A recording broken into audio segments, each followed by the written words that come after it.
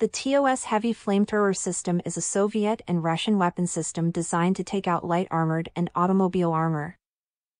Set buildings and structures on fire with a three-dimensional explosion and destroy enemy troops in open terrain and fortifications.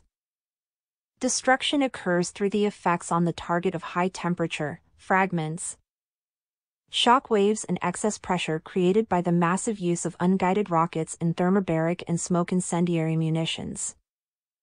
The heavy weight of the tube package with the projectiles required a chassis with a considerable carrying capacity and relatively short firing ranges from 400 to 600 m to 4.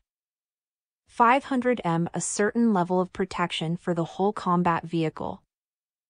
As a result, the weight of the combat vehicle reaches 46 tons.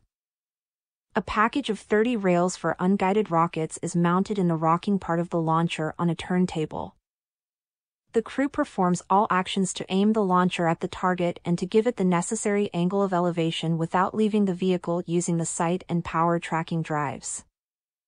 The steep trajectory of the shells to the target required precise consideration of firing conditions and creation of a special fire control system. It includes an optical sight, laser rangefinder, roll sensor and electronic ballistic calculator.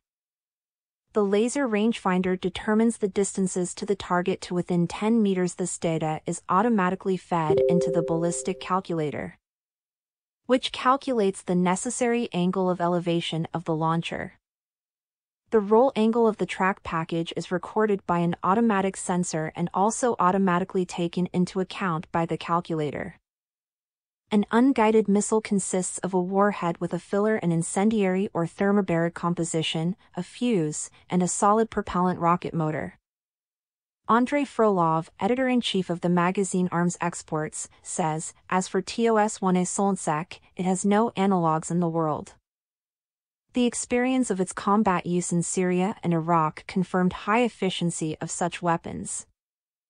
Among the disadvantages of the complex are large size, weak armor, vulnerability to ATGMs and grenade launchers. The defeat of the combat vehicle poses a danger to its troops. In addition, the complex has a very narrow scope of application.